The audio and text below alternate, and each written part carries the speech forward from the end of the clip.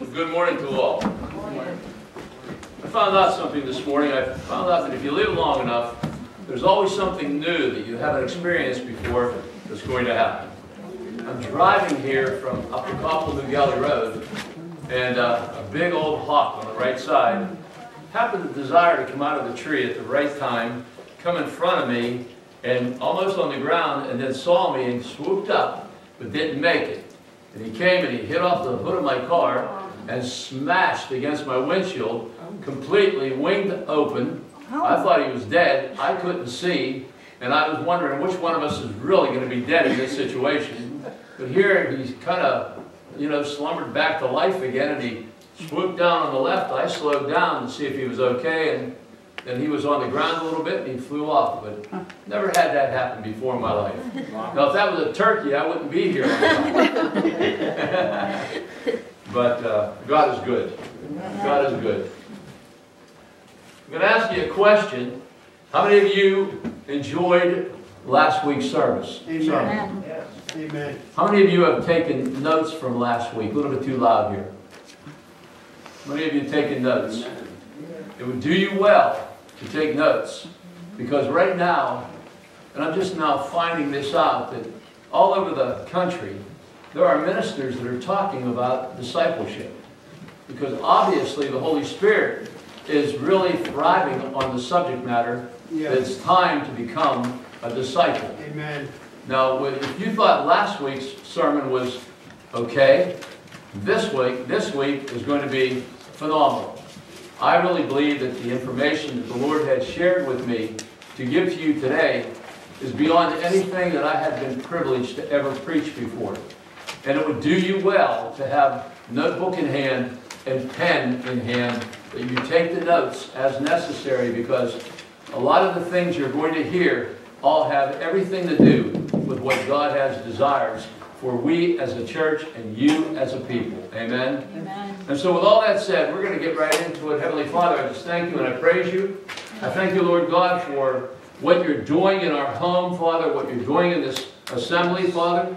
And I know that, Lord God, that you are doing some shaking and some awakening, Father. Not only within the contents of the, the confines of the people that are here, but even in their households, to the extended family of where they're at, Father God. And I'm praising you, Father, because I know that we are living in the last few hours that Lord Jesus, you are about to return. And I really believe that we are going to be, some of us are going to be alive to see your face as you come back for your bride. And we thank you in advance. In Jesus' name, amen, Amen. and amen. Well, this morning we're going to be talking about God's plan of creativity. And I want to show you this morning how God forms his purpose in a person's life. Now, if you don't know what your purpose is, if you don't know what God has created you on earth for, I guarantee you God has a specific Yes. way Amen. of getting your attention where you are going to have to have no ability to hear anything else but his voice. Yes. He will bring you to your knees. He will bring you to a very droughted area where he's going to be able to speak to you. And it's at that point you're going to know for sure who you are in the kingdom of God. Hallelujah. And once, if it be the case that he has your undivided attention and he can speak to you and let you know what it is that he's created you to become, if that be the case and you begin to walk in the influence of that call, that destiny, then you're going to realize that the power that God has provided you and the miracles that you are showing other people, you will realize that apart from God, you would never be able to do the things that you are doing at that moment of time. I say that because I want you to know that all of my childhood, my parents were on me because I could not look people in the eye. I could not speak to them. I was introverted. I was absolutely shy. I held that shyness about me until the age of 34 years of age. I couldn't look at people. I didn't want to dare get in front of an audience of people. I always wanted to hide. I didn't want to be in the front. But when God spoke to me and told me what He wanted me to do, He equipped me. He equipped me with a boldness. Amen. And when God speaks to you and tells you exactly what He wants you to do, He's going to equip you with boldness you, and with Lord. authority. He's going to equip you with revelation knowledge. Amen. Some of you probably know what I'm talking about already at this moment of time. So this morning we're going to be looking at a man who was really a mess, more so than any one of us. We're going to be looking at the life of Jacob. And uh, Jacob, as we know, he was a total mess. He had done anything and everything totally wrong, and he thought he could get away with it. Well, the Word of God tells us in Isaiah chapter 43, starting with the verse, verse 1, But now thus says the Lord, who created you, O Jacob, and he who formed you, O Israel, Fear not, for I have redeemed you. I have called you by your name. You are mine. There are three things that will take place with God's plan of creativity. First, He creates, and then He forms, and then He transforms. And in your created state, God sees the potential that is inside of you. Why? Because God placed it there. But in your created state, God sees that you're not ready to manifest what He's created you for. So He puts you on the potter's wheel and He begins to form you and mold you and shape you into what it is that He has for you. Amen. In Genesis chapter 1, verse 26, the Word of God says, Let us make man in our image. Everybody say image. image. Underline it. Write it down. Very impacting word. Let us make man in our image according to our likeness. So first you must understand, you were created, every human being has been created in the image of God. Amen. Doesn't matter who they are. Yes. They have been created in the image of God. But not every human being is created in the likeness of God. They haven't been formed into the likeness of God. Why? Because they have chose to reject God, reject His Word, reject His Spirit, reject being in His presence, and therefore they have taken on the formality of the world and of the nature of Satan. That's why you find that so many people that were created in the image of God are thieves and robbers and murderers and rapists and what have you, because they were never formed into the likeness of God. But when God had created you and I, He created us in His yes. image. Amen. And the word image is the Greek word logos, which means an imprint. You were an imprint. And so as an imprint, you can do nothing because an imprint is nothing more than a baby. And all a baby can ever do is make a whole lot of noise, and they goo-goo and they poo-poo. That is all a baby ever does. A baby can't do anything. And so what God has to do, He has to take us and He has to mold us. I'm going to give you an example. When I was found, when we found out that we were going to have our first child, my oldest son is going to turn 50 here in a few months. Hard to imagine. But here, when, he, when we were told we were going to have a child, our first boy, our first son, and we, we also got notified it was a boy, my mind kicked into overtime. I, I perceived that this young little baby was going to look like me, look like the family, have the attitude and the ideals of the family, have our structure and have our gifts and our talents. That's how I perceived him. A lot of people said, well, I pray that it doesn't act like you, but that's irrelevant. but the truth of the matter is, when we finally, when, she, when my wife finally went in to give birth, and they gave me this little being, when I looked at him, he looked nothing like what I had perceived in my mind's eye. I saw him as a finished product. They gave me a blob. They gave me a little boy with nothing but wrinkles all over him. He was matted. He didn't look anything like what I assumed he should look like. But what he was, he was a future somebody that one day was going to find his place in society, and I prayed that he would find his place in the kingdom of God. But because of the fact that he was a baby, he wouldn't even respond to our voice. He did nothing.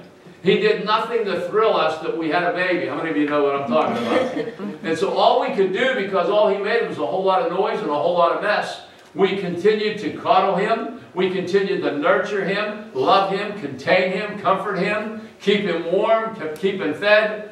And one day he grew and grew and he grew up to be an adolescent. He became a representation of my mind's eye.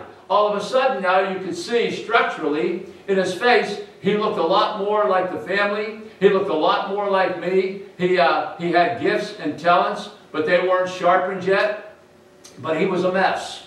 He was a mess. He had some teeth missing. His hair was long. His clothes were baggy. We tried to have conversation. He was talking from Mars. We were talking on Earth. We could not jive together. So what we had to do, we had to put some perimeters of, of rules and regulations in the household in order to keep him contained. And we kept on feeding him and clothing him and nurturing him. And he continued to grow, and he grew from that of a representation. And one day he grew to the full manifestation of what it was that I saw in my mind's eye when we were told we were going to have a son. All of a sudden, he took on the entire formality. He was the full maturity of what God had intended for him to become.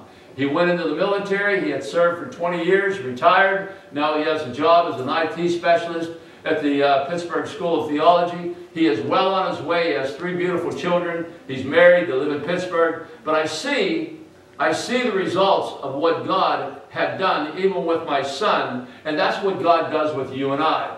Because of the fact that we are, we are created as imprints.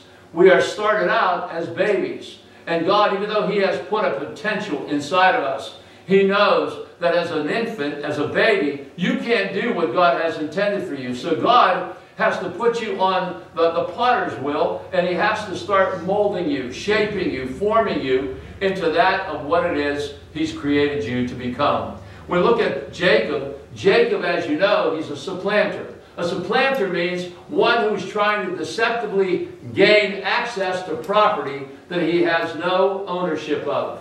He was a supplanter, he was a liar, he was a, he, he was a, a, a, a deceiver. And the Bible says in Isaiah 43 1, I created you, Jacob. Now think about that. I created you, O Jacob. I formed you to become Israel. I created you, Jacob. Now you say, wait a minute, did God create him to be a deceiver? Did God create him to be a liar? Did God create him to be a supplanter? No. But God created him like he created us as an imprint, as a baby. And as a baby, you have to watch that baby. Because as that baby grows up, that baby's going to want to put his finger in the, in the electric socket. That baby is going to crawl around and put stuff in his mouth that you don't want him to have in his mouth. He could choke, right? You have to watch over a baby. And so I don't care if you're 50, 60, 70, 80 years of age, if you have not allowed for God to form you into that of the full manifestation of what He created you for, you are still, therefore, an imprint, a babe. And that's what's going on with, with Jacob. Jacob was a baby up until this late age of his life. That's why he was a deceiver. That's why he was a liar. That's why he was a supplanter. But we know, as the story went on, that God was about to form him from that of an imprint into that of the full manifestation of what God had intended. But it doesn't take only a short period of time. We want it to be a short time. We don't want it to hurt. We don't want to go through any scolding process. But I want you to know sometimes it'll take 5, 10, 15, 20, 25 years. It is all dependent on how true are you to hold on to the hem of the garment of God and not let go. Because so many people, they start out on a good note, but then they become as like the Corinthian church that Paul had said in 1 Corinthians, you're drifting. Mm-hmm. They drift away. They drift away from God. That it's not important to come into the house of God anymore. It's not important to read the Word of God. It's not important to pray to God. It's not important to go and tell other people that you are a changed creation. That's not important. So what happens is you remain an imprint yeah. until God can get a hold of your heart if you let Him. Mm -hmm. If you let Him. And so we come to find that uh, Jacob did allow for God to do just what God intended. He went from an imprint to a representation to the full manifestation of what God had intended. And he became the nation of Israel. The nation of Israel came from the very body of that of Jacob.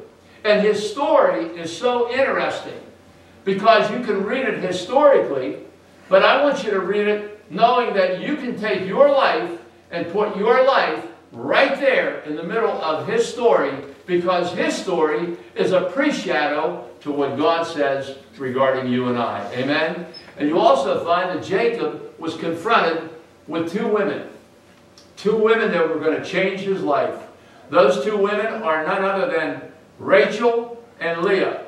Symbolically, those are the same two women that God has for us that we have to look at and we have to make a decision. Are we going to love one and deny the other one, or are we going to deny the other, or love the other one and deny the one that God has for? So the question I have for you before we move on is, are you going to marry God's desire and reject your desire for the moment, or are you going to marry your desire and reject God's desire?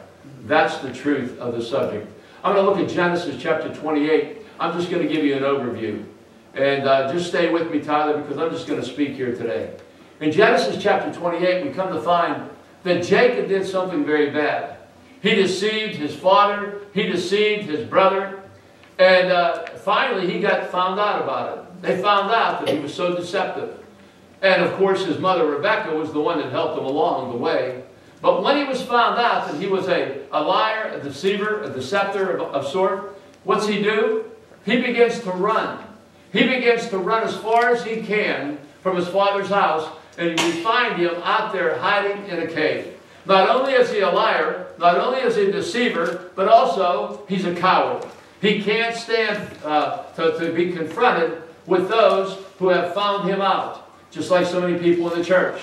So many people in the church, they come to church, they look all holier than thou, but we don't know the reality of their, their private life because behind closed doors, some people, they are living a double life. They're doing things, getting into things, and they shouldn't that they shouldn't be getting into. But when they are found out, they don't want to come back to the house of God because they don't want anybody to uh, to, to know what they're up to, and they're ashamed. And so they too, they begin to run. This is where Jacob is at.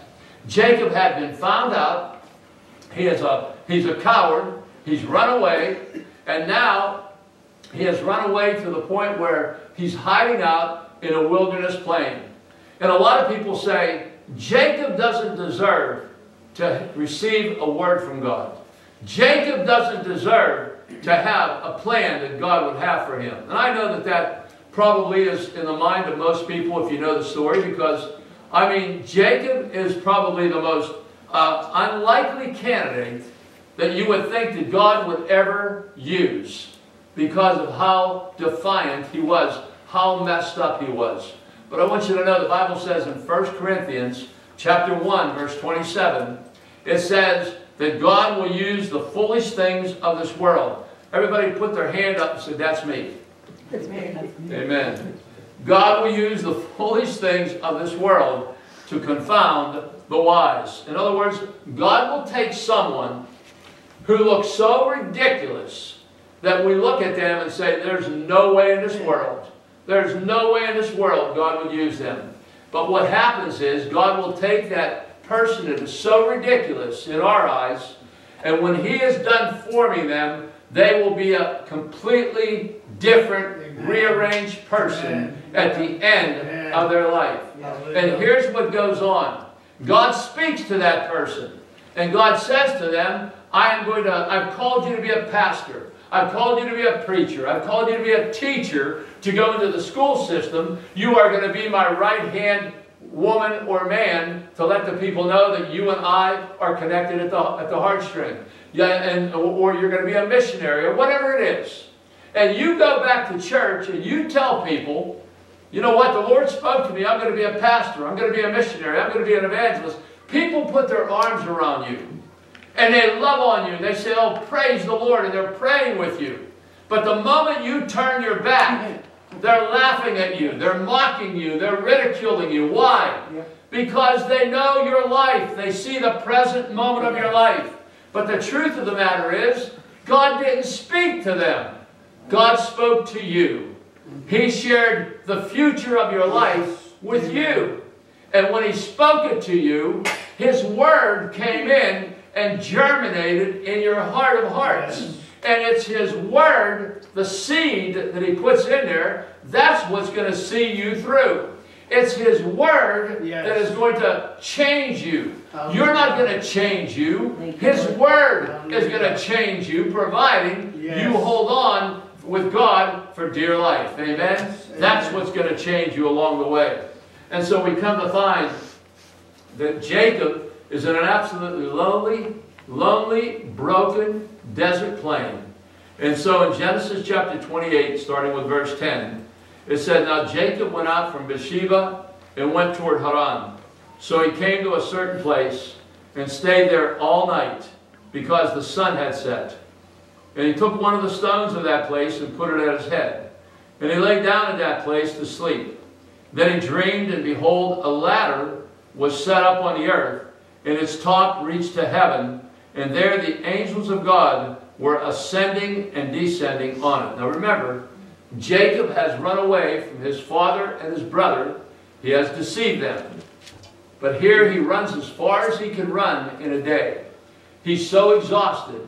He's out in a wilderness, dry wilderness plain.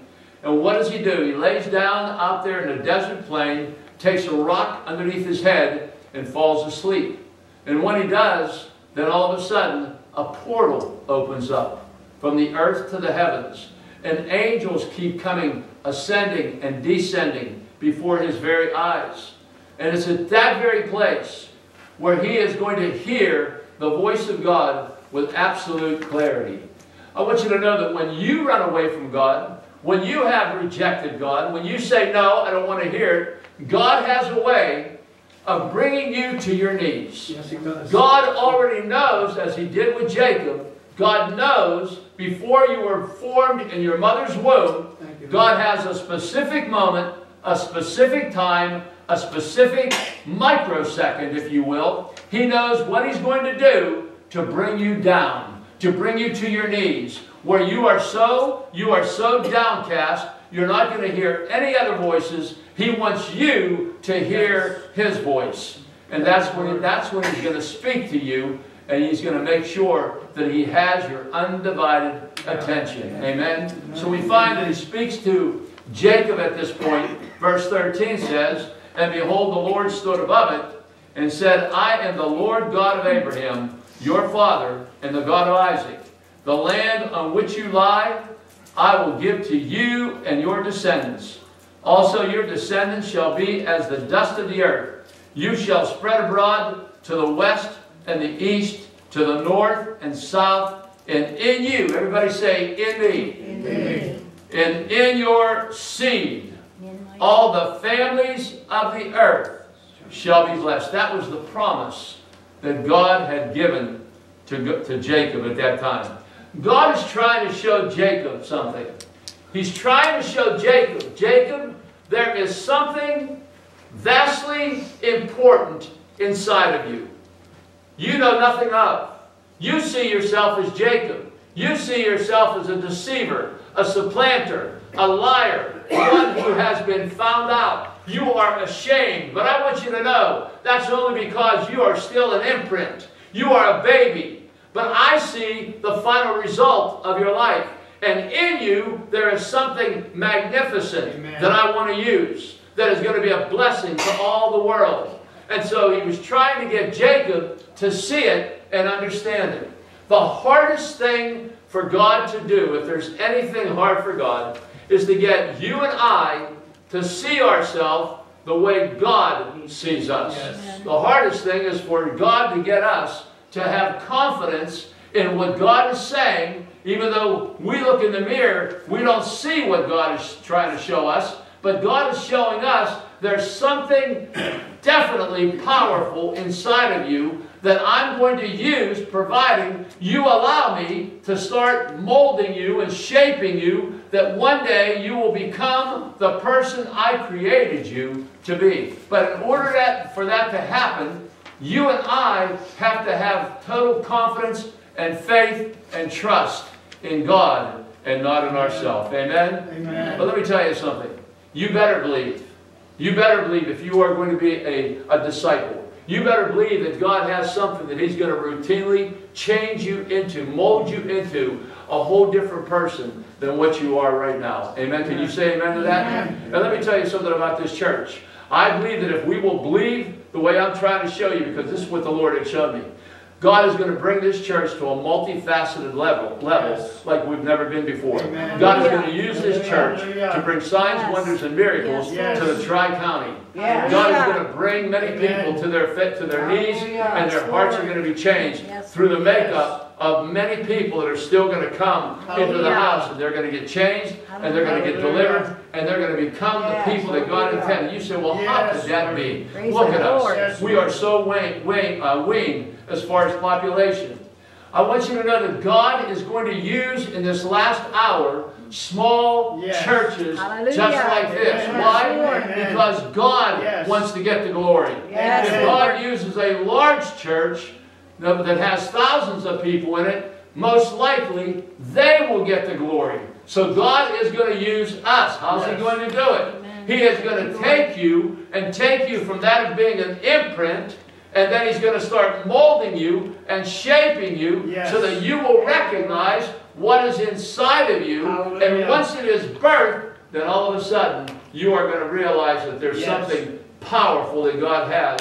And you'll hear His voice. You, And the Thank voice you, of God Lord. that will come to you will be as like the quenching rain Yes. that is coming and bringing a peace Thank into you, your heart. Amen. Yeah, you, So God is going to take Jacob, He's going to use him because there's something inside Jacob that needs to be born. And once it's born, it is going to be effectively powerful and tremendous for all the world to be blessed by it. Hallelujah. And we know that Jacob went on to become the nation of Israel. Yeah. And the nation of Israel has been a blessing to all the nations of Amen. the earth for the most Yes. part. Amen? And so God has something inside of us. And until it is birthed, until it is birthed, then what God has placed inside of you, that will be a blessing Amen. to others. You may not see it. You may not see it in your lifetime. You may pass away. But if you are obedient to God, holding on, and allowing Him to mold you and go through this process that He needs to bring you through, then what is inside of you, once it is born, others that are coming behind you will be blessed as well. Amen? In verse 15, we find that God says, Behold, I am with you, Jacob, and will keep you wherever you go, and will bring you back to this land. This land that you see right now, Jacob, that you're running away from, to you, it is a land of defeat. You never want to come back here again. But I want you to know that when I'm done with you and I've rearranged you, you are going to see this land in a whole different perspective.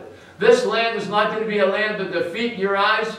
It will be a land of victory. Hallelujah. Amen. So that verse 15 again, I will bring you back to this land, for I will not leave you. Hallelujah. I will not leave you until I have done this that I have spoken to you. Thank you. In other words, he's saying to Jacob, I'm not letting you go. I'm not letting you go because I it's my responsibility to change you Amen. into another man, into the man that I've created you to become. Your responsibility is to stay true to me. My responsibility is I have made my word and I've, I've roped my word, tethered it into a covenant. What I said to you that I will do, I cannot break my word. I will not leave you. I will not let you go. Thank you, Lord. You can let me go and you can be deficient of my plan. But if you hold on to me and allow for me to do what I want to do, oh, I want you to know that if you don't drift away, I am going to follow through and you are going to be so excited to Yes. see the man that you're about to become. Yes, thank you. So verse 19 says, Then Jacob called the name of the place Bethel, which means house of God. Then Jacob made a vow, and he said, If God will be with me, if God will be with me, now he's a deceiver, he's still a liar, okay? And he says, but, but he's in this place where he wants to make a covenant with God. Now God has to take Jacob and do whatever God has to do to get Jacob to fall in love with God's desire. Because if Jacob doesn't fall in love with God's desire, then this whole game plan for Jacob is going to be null and void. Jacob will not become the nation of Israel. Amen? So God had to ultimately get Jacob to fall in love with his desire. Verse 20.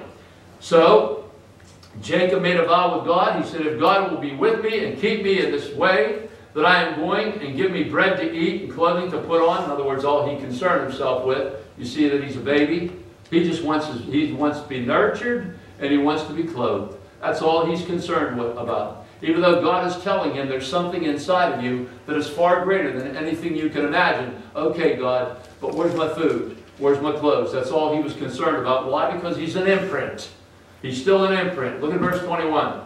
It says, So that I came back to my father's house in peace, then the Lord shall be my God, and this stone which I have set as a pillar shall be God's house, and of all that you give me, I will surely give a tenth to you.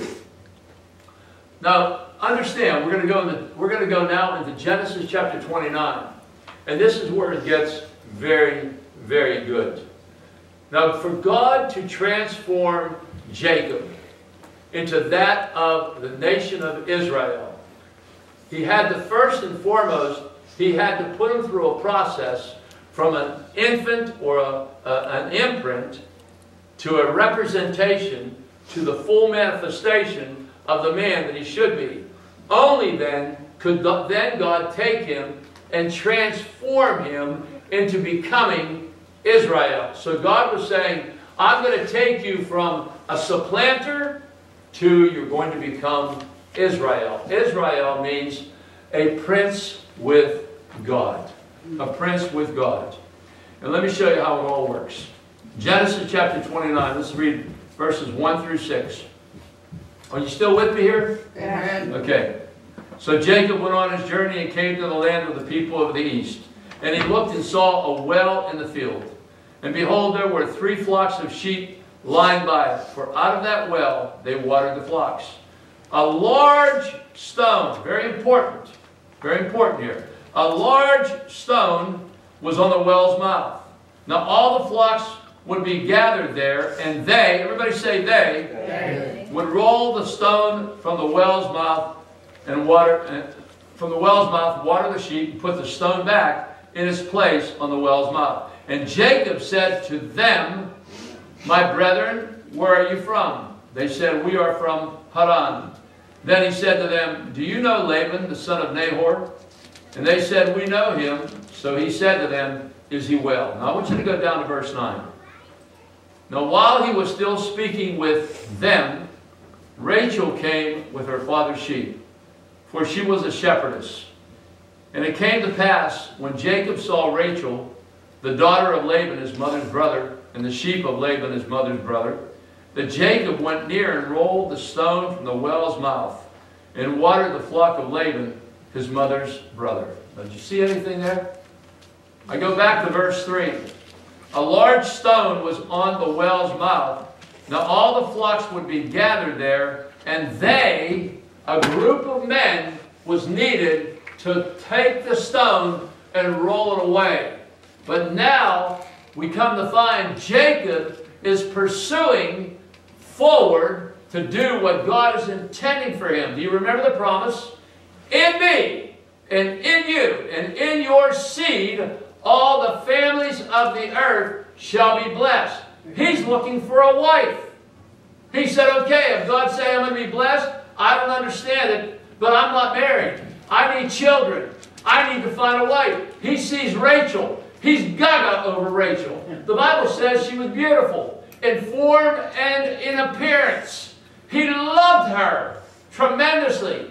And because he was now moving in God's perfect will. Amen. Follow me here. Remember what I told you last week? God, Jesus Christ said, All authority that has been given unto me, I give unto you. He's not talking about Christians. He's not talking about ordinary Christians that have one foot in the world and one foot in the church. If you got saved, if you accepted Christ, you are on your way to heaven. But you could live like hell on the earth. And no, none of your prayers will be answered. Because when Jesus said, All authority that has been given unto me, I give unto you, he was talking about those that are disciples becoming disciples and also becoming disciple makers. That they are absolutely, absolutely going to the next level with Christ. Amen? Amen? So that you see here, because Jacob is moving forward in God's will, a supernatural invasion of strength came upon him. And it says here that he moved the stone himself and watered the flock of Laban, his mother's brother. That's what you can do individually when you are Amen. growing into that of becoming a disciple. How do you know you're a disciple? He, Jesus said, if you are obedient to my word, then you are my disciples. Yes. You can be a Christian and not even know the word of God. So many Christians that don't know the word of God. But there are so many that do. I spend time with Ron. I tell you what, he's a walking, talking encyclopedia of the Word of God. Puts me to shame sometimes. I'm telling you, there are people that know the Word of God. You need to know the Word of God. Amen. I don't mean to bring shame to you, but that's just the truth. Okay? So, what happens here, Jacob wants to get married. I need to find a wife. He sees Rachel, he says, oh my goodness, look at her. Mm-hmm. She's gaga, she's beautiful. He's whistling. And then he wants to know who's her father. He goes over and he's hugging her and he's kissing on her. Yeah. Mind you, this is a different time. This was his cousin. And so he's looking for his Uncle Laban. He goes to his Uncle Laban he says, What can I do to have Rachel as my wife? And his Uncle Laban said, You worked for me for seven years. You can have her as your wife. He worked for seven long years and he finally gets his wife, Rachel. And the Bible says that those seven years went back went by like a few days because every day he had the chance to spend with Rachel. Now here comes the day of the wedding. The day of the wedding, the culture was that her face would be veiled. He would not be able to see her face. They had the ceremony. They had the time where there was a festivity in the, in the city. And after it was all said and done, when the darkness of the night came through, he had already added on to his uncle Laban's tent. And now he was going to now take his beautiful bride into that tent. They were going to consummate the marriage. And they went, they did just that. In the early morning hour, as the sun was coming up, and the sun was starting to shine through the little cracks, nooks, and crevices of the tent, he must have maybe leaned over. He wanted to give his new bride a kiss. Now, with her unveiled face, he was about to kiss who he thought was Rachel. Here, the great deceiver was deceived. He wasn't given Rachel as his bride he was given the older daughter, Leah, as a bride. And I can only imagine he probably wrapped the towel around himself, come out of that, that tent screaming. Looking for his uncle Laban, he wanted a fist fight. He wanted to know, why did you do this to me? Now Laban, understand, was also a deceiver. And his sister is that of Rebecca, who is uh, Jacob's mother. So the whole family has a problem with deceiving people, right? But you have to also recognize that J uh, Laban gave the older daughter to Jacob first, and that was Leah. And he explained it to Jacob that the older daughter has to be married off first before the younger daughter can be married. But the other reality of it all is that Laban became an ambassador of God, giving uh, Jacob God's desire. He had to receive God's desire before he could ever receive his desire. So here he is. He's married, thinking he's married to Rachel, but he's actually married to Leah. And he hates Leah. Matter of fact, verse 17 says, Leah, her eyes were delicate. In other words, she wasn't all that good looking. I don't want to say it, but she probably looked a little bit like a dog. He, he hated her. He wanted nothing to do with her. Let me tell you something. When God has a plan for you, Amen. when God speaks to you, and God tells you what you're really created on this earth to do, and He shares with you the secret of the potential that is inside of you, it doesn't look good. Most times, you want nothing to do with it. Most times, it is the most unlikely thing you ever want to do. That's why Jesus turned around and said, Pick up your cross and follow me, yes. because it's a hardship.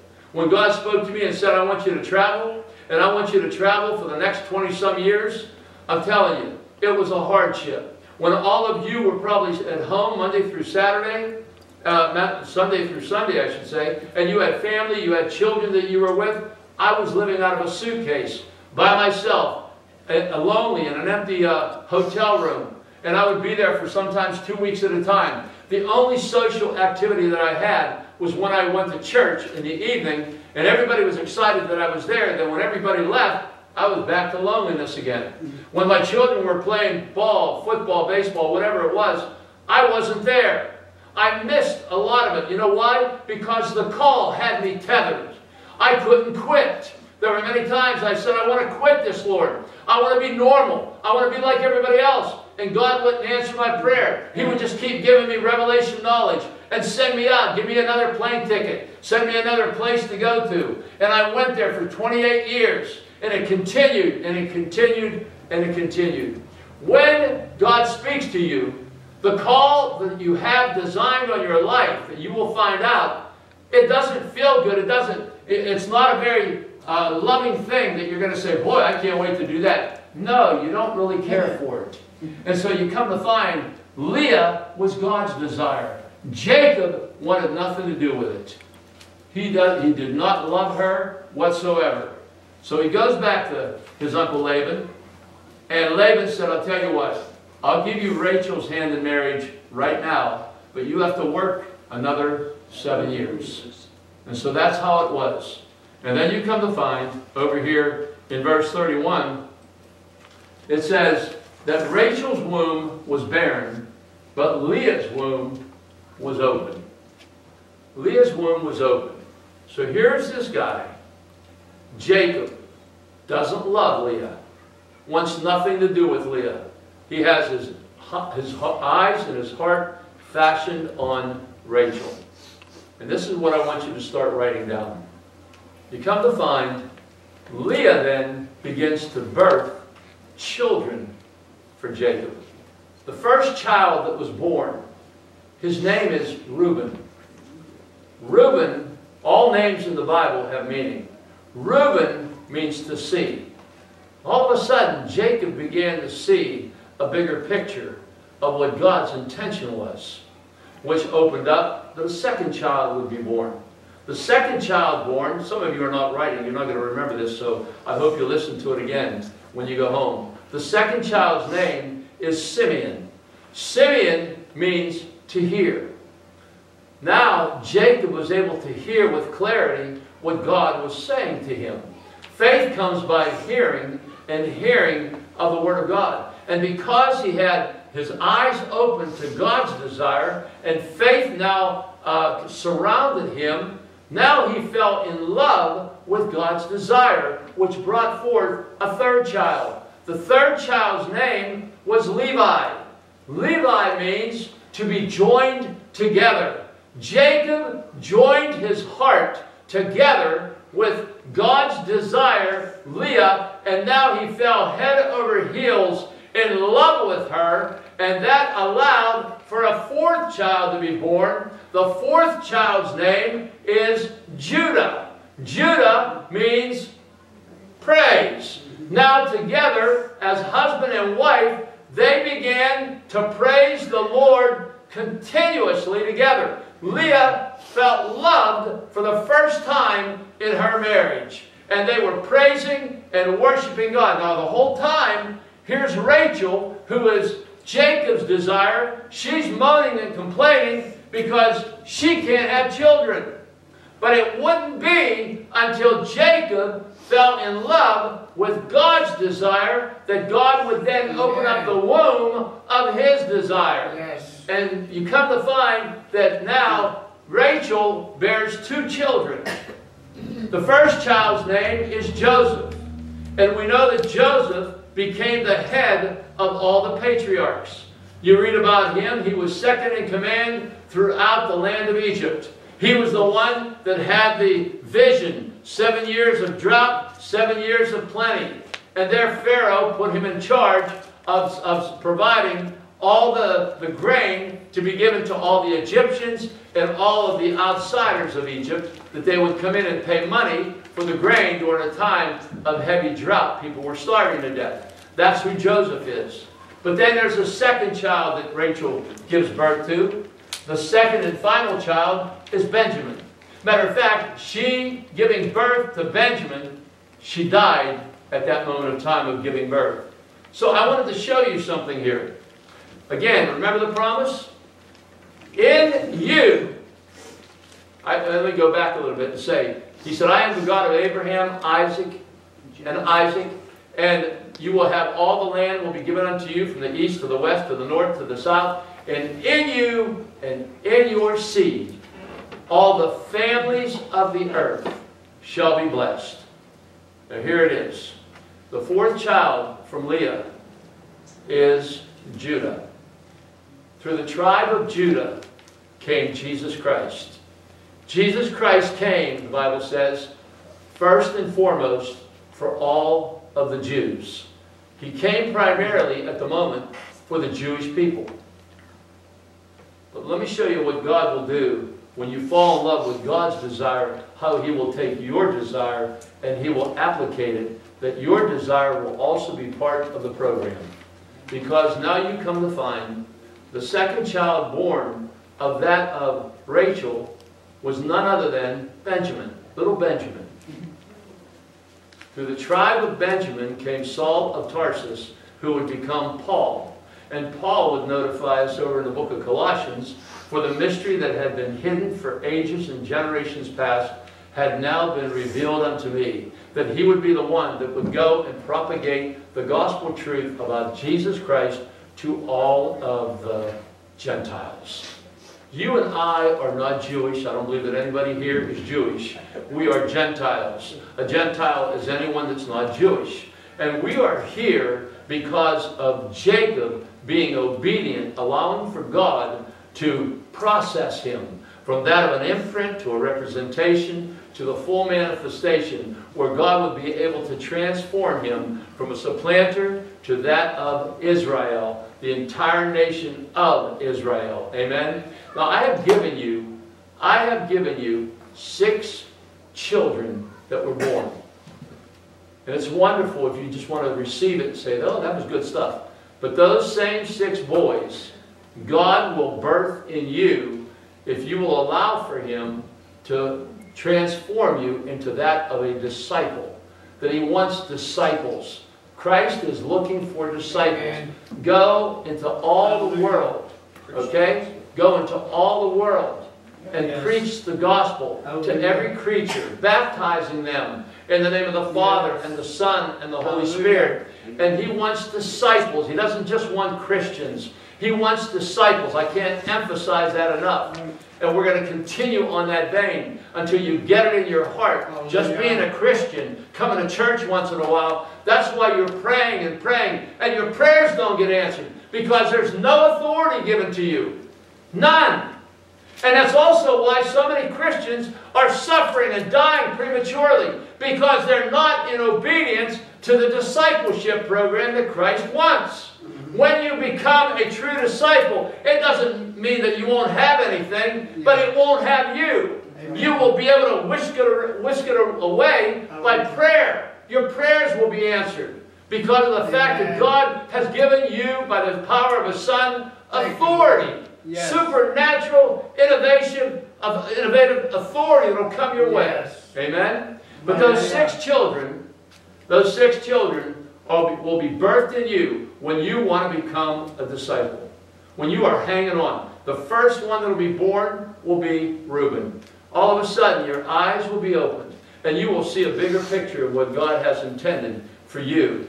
And you will see yourself in a whole different display. You won't see yourself the way you see yourself in the mirror in the present moment. God wants you to see yourself in the future the way He has created you that you will one day become which will bring forth the second child that will be born in you, and that will be Simeon. Now all of a sudden you will have faith, not in you, but you will have faith believing in Christ. Yes. You will trust Him because He says, I have tied my word to a covenant. What I said I will do in you, I am going to do Amen. it. And because you have fallen in love with God's plan, and you're not going to let go of Jesus Christ, you're going to let Him bring you to a place of discipleship, Hallelujah. then you're going to find that there's going to be a third child. A Levi is going to be born. You are going to embrace the call. You are going to embrace the call of what God has plan for you. Amen? And then you're going to find that now a fourth child is going to be in you. It's going to be birthed. And that is Judah. You are going to be praising the Lord. You're not going to be denying the call. You're not going to be rejecting the call. You're not going to be saying, This is too hard. I can't do this. I don't want nothing to know. You're going to be praising and worshiping and honoring God. And then a, then a fifth child is going to come.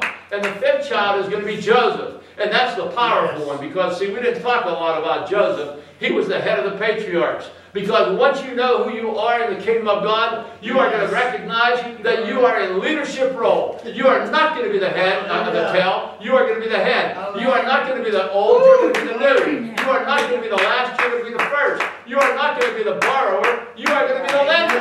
That's who Christ has for you, amen? And then finally, Benjamin is going to rise up. You're not going to be able to close your mouth. You're going to go to the highways and the byways. You're going to propagate the gospel message. You're going to let people know Jesus Christ is coming soon. Wake up! Wake up! Wake up! Because he's coming for a church without spot, without blemish. Doesn't mean you won't be perfect. Thank you, Jesus. It doesn't mean you'll be perfect, but the blood will, will be stained on you to show the perfection in the eyes of the Father. Can you say amen? Amen. Amen. And last of all, you come to realize that Jacob, when he was completely transformed, he came back to the land. And when he came back to the land, in that very location where he had seen the ladder going up and down, he came back and he wrestled with God. And he said, I'm not letting go of you until you bless me. Yes. Not, God not only blessed him with a new walk, a new talk, but he gave him a name change. He gave him a name change. He said, I'm no longer going to call you a supplanter. I now call you Israel. You are a prince with God. And Amen. from that point on, you will come to find from that point on that never again did Jacob look over his shoulder, worried about who's coming and who's going to hurt him. He saw the future, and he saw himself within the, the midst of the destiny of that future. And when his brother Esau came, when his brother Esau came, that was the that was the compromising time because he thought maybe Esau was going to kill him because he did deceive him, did steal from him. De- Esau turned around and bowed before him and said to him, My brother, he said, Listen, I have more than enough, but when I look at you, when I look at you, Jacob, I see the face of God upon you. Hallelujah. When you are divinely transformed, you're not going to have to say a whole lot. People are going to see the relationship Yes. You have with Jesus Christ. Amen? Amen. Can you say amen with me? Amen. Would you stand with me? Amen. Let's just give the Lord a shout of praise. Hallelujah. Let's just thank Him this morning. Hallelujah. Thank you. Woo. Glorify you, Lord. Thank you, Hallelujah. Praise your name, Lord. Yes, Thank you, Lord. Glory. The sad thing is, some people think religion is the foundation of salvation. It is not. When you came, when you come to think about Jesus coming, he went against the religious leaders. He said, "You brood of vipers, you put heavy weights on others that you yourself can't can't carry." Jesus is not looking for religion. He's looking for relationship. Yes. He's looking for a continual, intimate relationship. Yes, Lord. If you have a problem here this morning, if you have issues, you've been praying and praying and praying. Some of you weren't here last week. I would advise you to go back and listen to the sermon last week about discipleship, what Jesus says about it. Because honestly, He wants this church to be a church of peace. Yes, Lord. Peace in your heart. Yes, A church of victory. That you are going to be an overcomer, not to be Yes. overcome. Amen. Amen. He's looking for disciples. And can you imagine? Jesus. If you truly take what you hear and go out and practice it and applicate it, Yeah. all the, all the church, uh, uh, uh, the, uh, the chairs that are empty will be filled. Amen. And we're not looking to fill our church, we're looking to Yes. fill the kingdom of God. Yes. Amen. That's what we want to do. Amen. Amen. Fill the kingdom of God. Yes. So don't go out of here and say, well, that was a good message, a good sermon, whatever, and forget what you hear. Look at your notes that I've provided to you and recognize that's what God wanted you to hear this morning. Yes. because He's about to do something Yes. sensational Yes, in your lives. Yes, That's why He wanted you to hear the stuff you're hearing. Yes, He's about to turn things around for you. But it can only happen, He's giving you the key. It's up to you to turn the key and open up the lock of heaven and therefore allow for the power of heaven to saturate you, that you, when you pray, it, all the things you're asking for are going to come to you. Amen? Amen. Why would you want to go through life from this point on and you be the tail and not the head? Mm. But God doesn't want that for you. God wants Amen. proficiency. Yes. Hallelujah. Amen. Now, before we close, if anybody is hurting, sick, you want prayer for anything, I always leave it open. I'm also going to do this before we have a, a time of prayer. I want you to just close your eyes for a minute. And I want you to thank, first of all, thank the Lord. Yes, right. Thank the Lord for what He has done for you thus far in your life. Yes, Jesus. Thank you. But if there's anyone here, and I know that you're all saved, but if there's anyone here that is in a backslidden state, I'm not going to ask you to come forward. You're in a backslidden state, and you need to get right before God. I want you to just lift up your hand and put it right back down. I see the hand. Anyone else, you're in a backslidden state, and you want to get right before God.